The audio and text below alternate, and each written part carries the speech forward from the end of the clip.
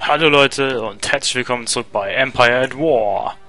Und erstmal ähm, zwei Sachen. Erstens Diablo 2, es geht, ups, es geht immer noch nicht los mit Diablo 2. Keine Sorge, ich bin doch schon am Arbeiten, ich bin doch schon am Machen, dass es endlich damit losgeht, aber ähm, aufgrund der Tatsache, dass diesmal äh, ein Kollege keine Zeit hatte, wird es mal wieder verschoben. Insofern hoffe ich einfach mal, dass es jetzt nächste Woche klappt und wenn nicht, dann musst du allmählich mal so ein paar Striche ziehen. Aber mal, wir schauen mal nächste Woche noch. Ich habe noch ein bisschen Geduld. Zweite Sache, äh, richtig viel Sorry für dieses LP gerade. Ähm, und zwar, als das letzte Mal Diablo 2 nicht ging, aus technischen Mängeln, habe ich ja vorgezogen schon Empire at War mit dem Todesstern wieder neu aufgenommen. So, und da habe ich aber die anderen Folgen noch nicht hochgeladen. Deswegen habe ich gar nicht gesehen, dass ihr alle unbedingt sehen wollt, dass ich Holt vernichten soll. Äh, sorry, sorry, sorry, aber ich glaube, ich werde das nicht mehr nachholen. Weil ich eigentlich keine Lust mehr habe, weil ich jetzt eigentlich gerne die Rebellen hier machen will. Insofern tut mir wirklich leid, dass ich das nicht mache. Dass ich jetzt wirklich alle Planeten einfach so zermalmt habe. Und ja, ich hoffe, ihr verzeiht mir das. Ich konnte es ja nicht ahnen. Also ich habe ich, ich hab das Video ähm, gemacht, dann habe ich die anderen hochgeladen, dann habe ich alle gesehen. Mach rot, mach rot, mach rot. habe ich mir gedacht, äh, scheiße hier. Ja, aber leider ging es ja auch nicht anders, weil es war ja ungefähr Sonntag, als das Video hochgeladen war. Und dann direkt den Tag darauf muss ich wieder arbeiten, da hatte ich kaum noch Zeit gehabt, gerade noch genug um zu rendern. Aber na, jetzt machen wir mal die Rebellen. Hoffen wir mal, dass das Intro funktioniert. R2D2. Naja. Mehr oder weniger. Gucken wir mal.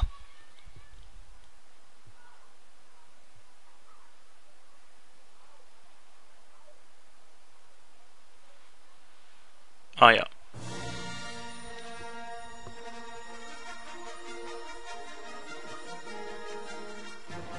Und? Kommt was? Kommt was? Kommt was? Kommt was? Nope, auch hier kommt nichts, das heißt ich cutte mal.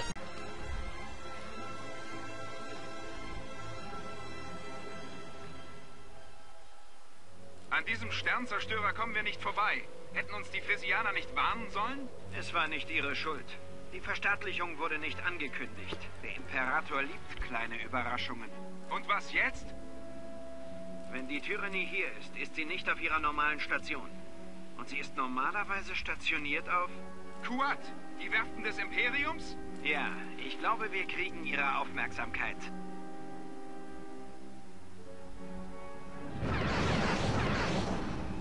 Okay, wir müssen so viel zerstören, wie wir können. Und es muss schnell gehen. C3PO? Ja, Sir. R2 soll alle Befehlskanäle des Imperiums überwachen und nach Gerede über unseren Einsatz scannen. Der Alarm wird unmittelbar ausgelöst und die Verstärkungen sind nicht weit. Wir müssen genügend Schaden anrichten, um die Tyrannie hierher zurückzulocken. Gegnerische Truppen. Aha. Melde mich wie befohlen, Commander. Ziel bestätigt. Ja, es geht los mit der Rebellenkampagne und das auch mal wieder ohne Intro. Ich weiß gar nicht warum. Ähm, erst Quadler. Wir Rebellen.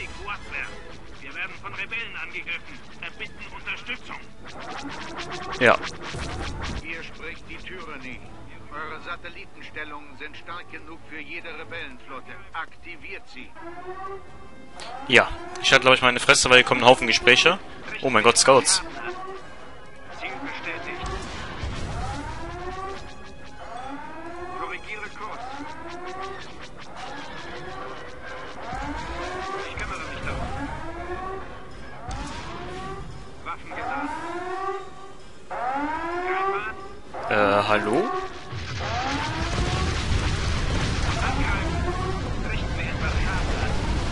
Schaden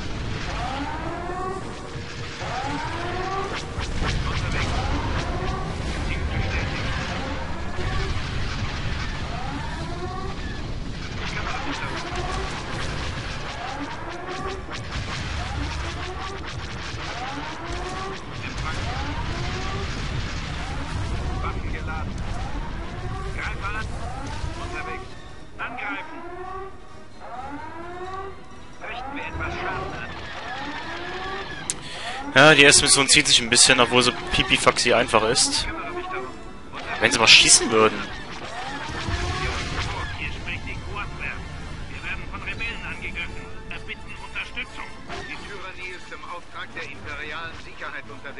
Haltet Funkstille für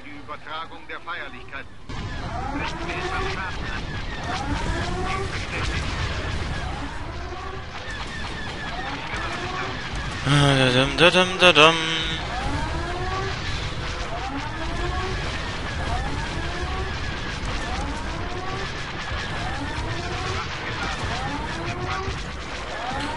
Also die erste Rebellenmission ist auf jeden Fall bombastisch, das muss man hier lassen. Ähm. Ah, ich hatte aus dem Ding wieder ausgemacht. So, mal ein bisschen beschleunigen hier.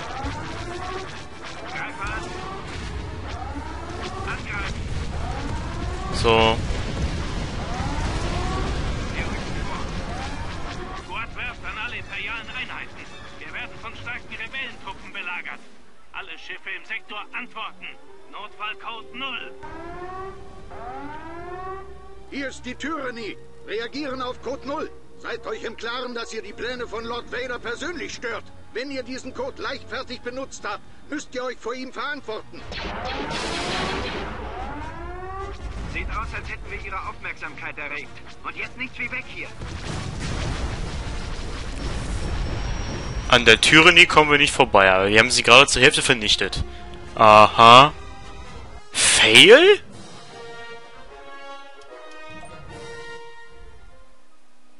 Die Tyrannie und ihre Flotte werden während der Reparatur höchstwahrscheinlich auf ihrem Posten bleiben. Die Zerstörung der Kuat-Werft sollte sie für längere Zeit ablenken. Dann sind da noch die X-Wings auf Fresia, um die wir uns kümmern müssen. Captain, unsere Scanner zeigen an, dass die Tyrannie vor ihrem Abflug nach Kuat mehrere Wächterdrohnen abgesetzt hat. Das frisianische System ist abgesperrt. Verdammt. Wir hätten im Nu die ganze Flotte des Imperiums im Nacken. Entschuldigung, Sir, aber ich glaube, R2 könnte die Daten der imperialen Ablinkstation auf WLAN stehlen und unsere Schiffe registrieren. Die Wächter um Frisia würden uns dann durchlassen. Kein schlechter Plan, C3PO. Aber ihr Droiden schafft es niemals allein bis dorthin. Ihr braucht eine stattliche Eskorte von Bodentruppen, um überhaupt eine Chance zu haben. Aber Sir, ich glaube, meine Anwesenheit dort ist nicht vonnöten. Du kannst nicht einen Plan aushecken und dann jemand anderen die Lorbeeren einheimsen lassen, C3PO. Wir können Fresia nicht angreifen, wenn ihr euch nicht in das imperiale Netzwerk auf Wayland hackt. Wir zählen auf euch. Einsatzlogbuch aktualisiert. Erste Mission. Aufbau beginnt. It's getting weird. Ja, schon die erste Mission der Rebellen ist nicht gerade so meine Lieblingsmission, weil es einfach nur Kacke ist. Gebäude wird errichtet. Aber naja, ich erzähle jetzt zu viel. Ich tue erstmal hier alles schön bauen. Wir haben Monotma als Helden, Anführerin der Rebellion. Naja, naja, kann nix im Kampf, ist so gesehen unwichtig. Dann haben wir noch Captain Antilles, den haben wir ja gerade gesehen mit seiner äh, Dingen da. Ist so ein Schiff wie die koreanische Fregatte. Als Schiffe haben wir gerade mal die Z95er, die vor, vor, vor, vor, vor, vor, vor, vor, Vorläufer der X-Wings. Ungefähr so etwas dazwischen wird es sein, ähm, ja. Scheißflugzeuge. Konstruktion abgeschlossen. Dann haben wir normale Infanteristen, die sind vergleichbar mit den Bodentruppen der Imperialen, also die Sturmtruppen. Plex Raketenwerfer sind halt Infanteristen mit Raketenwerfern, die haben wir auch schon in der Imperialen-Kampagne oft genug äh, erlebt. Und dann natürlich T2B-Panzer. Die Standardpanzer der Rebellen, die was deutlich stärker sind als die Time Mauler, dafür aber nicht so gut geeignet gegen die Infanteristen sind. Aber naja, davon bauen wir trotzdem mal welche. Weil das ist interessanterweise die einzige Stelle, wo wir die Teile bauen können. Weil wir haben nur eine Dings da. So, ähm, ah, kann ich gar nicht machen. Schade. Jo, dann wollen wir erstmal gucken, was machen wir hier, was machen wir hier, was machen wir hier, was machen wir hier. Ich tu erstmal hier einen Haufen Truppen anfordern. Bräuchte gerne so ein paar. Ich meine aber, dass die Druiden sowas wie die Scouts sind. Ne? Ist das so? Ja, müssen ja. Muss ja sein. Warum werde ich ja bald erfahren, aber es muss ja so sein. Mal gucken. Tatsache. Jo, hier ist ja sehr wenig. Das schnappe ich mir mal als erstes Büppchen. So, ihr merkt schon, die Rebelleninfanteristen kommen relativ schnell. Reicht das eigentlich? Obwohl, nee, ein paar Y-Wings brauche ich noch. Ein paar Y-Wings wären nicht schlecht. T2B Ende. Kampfbereit. Ja, dann warten wir einfach mal, bis wir die ersten Truppen haben. Das ist ja momentan ein bisschen wenig. Interessant ist, Kuat können wir uns gleich mal einfach mal so schnappen. Obwohl da die Tyrannie noch in Reparatur ist und bla und bla und bla und bla, aber das schnappe ich mir auch noch gleich, direkt gleich. Y-Wing, ah, komm, jetzt die englische, ja, englische Übersetzung. Ja, guck mal hier, Quad. Fail. Ach, kann man eigentlich direkt mal machen, ne? Ach, wie war das nochmal? Wie war das nochmal? Wie habe ich die Rebellenarmee immer gesetzt? Ich weiß es nicht mehr. Ich weiß es nicht mehr, wie ich es gemacht habe. Ist auch egal. So, die Rebellen haben einen netten Vorteil. Den werde ich euch gleich mal sagen. Und zwar, wenn die Rebellen eine Gruppe im Orbit haben, von, sagen wir mal, mindestens drei Truppen, ich stecke jetzt mal so einen hin, dann können wir einfach einen Überfallangriff machen auf den Planeten. Ja, was ist ein Überfallangriff? Ein Überfallangriff ist nichts anderes, als dass ihr die Raumstation, also die Raumtruppen des Gegners umgeht und direkt zum Bodenangriff äh, Angriff übergreift. Das ist scheiße fies. Weil, naja, so können, die Rebellen mal eben so eine riesige Raumflotte umgehen. Um sich mal eben so aus Spaß an der Freude, sagen wir mal, ähm, ja, an den Bodentruppen vergreifen. Wenn die schwach sind, dann läuft das. So, das machen wir mal selber, weil es die erste Mission der Rebellen ist. Und Kurt war nicht gerade die beschissenste Map. Was war die beschissenste Map? Äh, weiß ich nicht. Auf jeden Fall ist hier die Stimme ein bisschen angenehmer. Ein Transporter natürlich. Wir müssen dem Imperium beweisen, dass es mit uns rechnen muss. Setzt ein paar Truppen ab und führt diesen Beweis.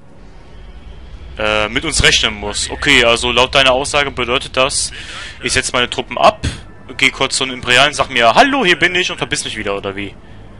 Äh, hä? Wer hat denn dich zum Kommandeur erklärt, mal ganz ehrlich? Ach ja, wir haben eine Spezialattacken, was ist denn nochmal? Gegner jagen. Ich glaube, die will ich relativ selten einsetzen, mit Ausnahme von... What? Oh. Nicht gut. Swootbikes. Die Teile habe ich euch gar nicht gezeigt. Ähm, die Dinger sind scheiße fies. Ja, und der Gegner ist natürlich so intelligent und nutzt seine Fähigkeiten perfekt aus. So, warum verliert die Halle an Schilden, obwohl er nur einen anschießt? Fragezeichen. Nein, noch so einer. Oh, oh, oh, oh, der überfährt immer alle, bevor ich das machen kann.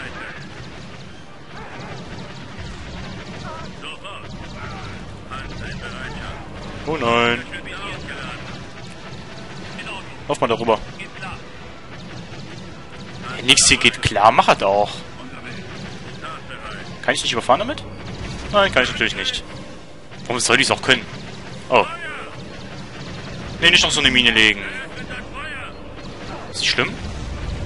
Für meine, für meine Fahrzeuge ein bisschen weniger. Ähm.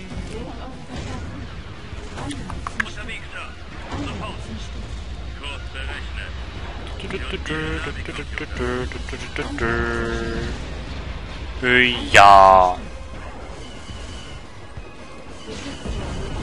Dankeschön.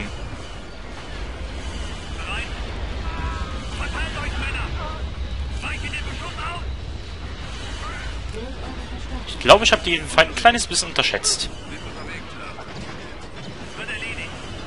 Aber nur ein klitzekleines bisschen. Also ich weiß ja nicht, wie euch es geht, aber du fest, jeweils meine Truppen hier. Oh ja, und dann wollte ich kurz noch ein Zeichen in die Luft jagen. So Suizid begehen, ne?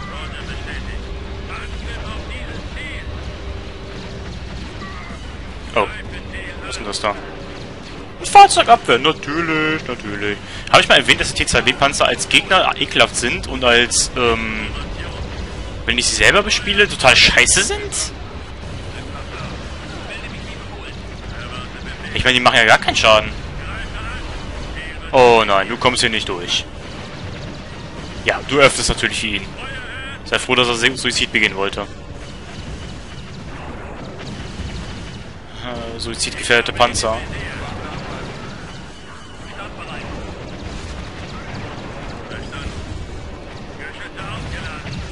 Äh, Suizidgefährdete Panzer. What the fuck?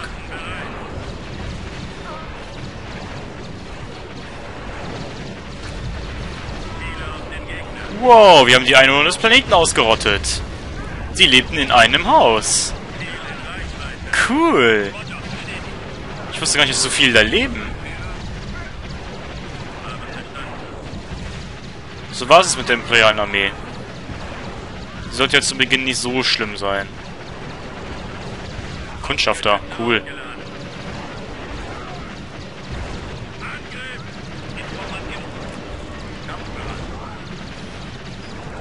Okay, der kommt von der Dingens da. Dingenskirchens da.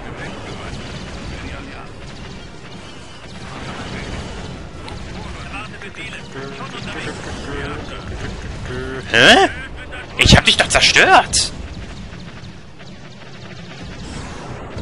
Tja, cheaten die auch noch. Alle Mann dahin. Geil, wir haben Bauplatz erbeutet. Was juckt mich der Bauplatz? Geil, Wir haben einen Bauplatz verloren. geil,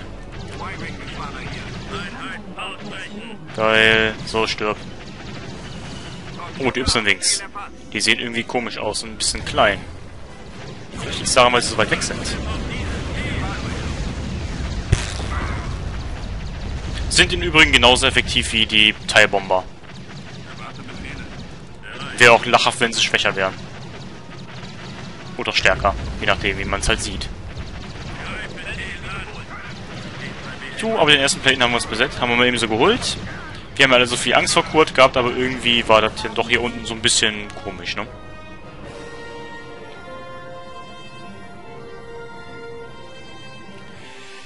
Erstmal an die andere Mucke gewöhnen. Boah, wir haben Kurt besetzt. Normalerweise muss hier irgendwo ein Sternzerstörer rumkriechen, oder?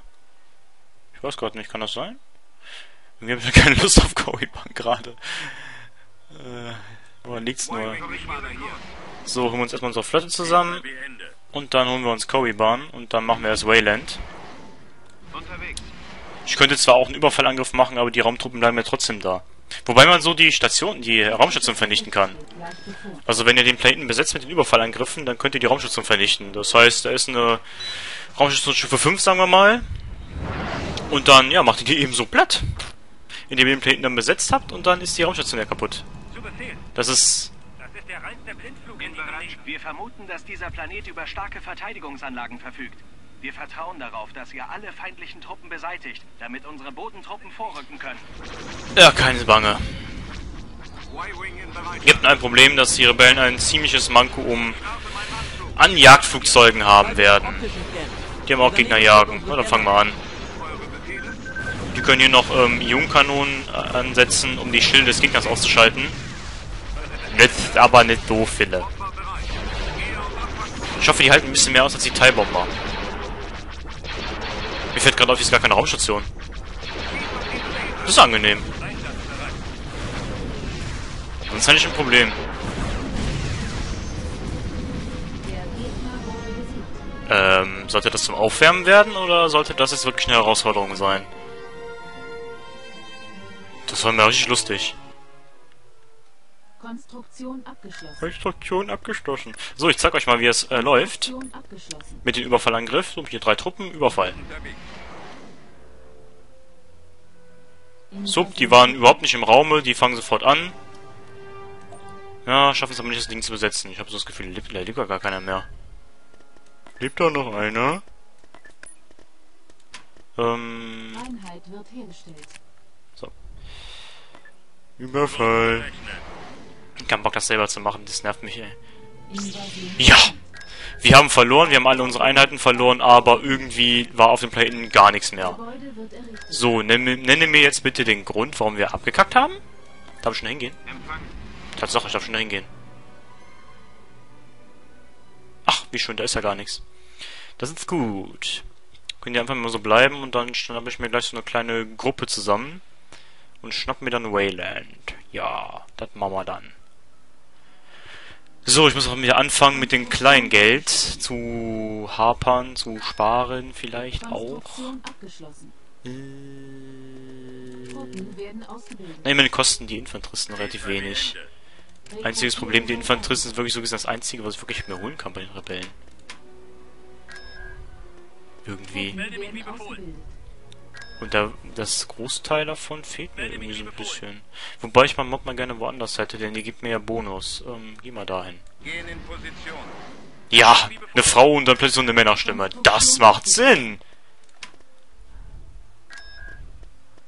Oh Gott. Truppen werden ausgebildet. Kampfbereit. Ein paar Truppen. Schadet ja nicht. Und dann sehen wir uns gleich schon im nächsten Part. Wenn ich den Knopf finde.